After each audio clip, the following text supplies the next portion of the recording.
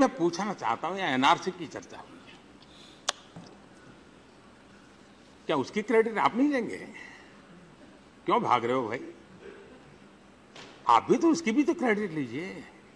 राजीव गांधी, उस सरकार ने असम अकॉर्ड में एनआरसी स्वीकार किया था। एनआरसी उस समय का है। बाद में सुप्रीम कोर्ट को इंटरवीन करना पड़ा। और हमको सुप्रीम कोर्ट ने आदेश किया हम लागू कर रहे हैं। अकॉर्ड क्रेडिट लीजिए ना। हम वोट भी लेना है और क्रेडिट भी लेनी है। फिर आधा बोलना और आधा छोड़ना। ऐसा नहीं चलता है जी। कुछ तो जरा कुछ तो खुल करके बात बताइए।